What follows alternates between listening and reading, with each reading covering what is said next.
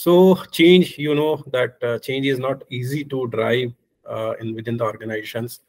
Uh, to convince the people, to convince the all the stakeholder, it's not very easy because in more than a decades or two decades, people are very habituated with the other platform. Okay, and for them, it is a completely drastic change. It's a 360 degree change for adopting the new technology. Okay, but thanks to the Google team and the partners who has provided the various training to the end user as well as to the our management to convince them about this uh, new features and new rollout like Google Workspace is a completely com new solution altogether for Vodafone Idea Limited.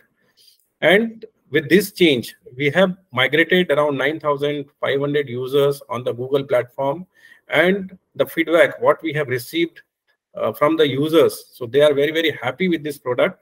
Yes, there are some limitations in the product. You know that the change always uh, difficult for everyone to work on this new change and the platform. Okay. But the support, what we have received from the Google and various training we have conducted, we are able to successfully complete the migration around 9,500 users.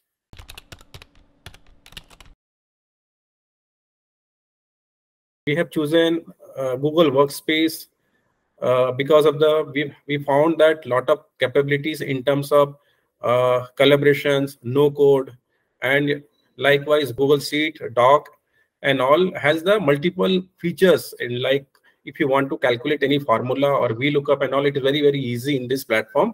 Because of that, we have went with the Google platform. Otherwise, we have evaluated multiple products at the same time before going live. So we uh, we found there is a benefit and there is a uh, difference in terms of operating. So we have gone with the Google Workspace solution.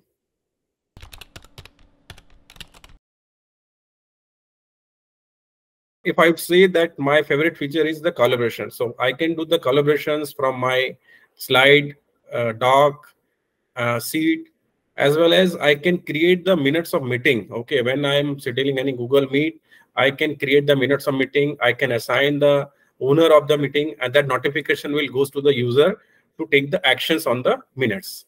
So that is the most prominent features we found in this solution. And we love this solution just for this uh, purpose only.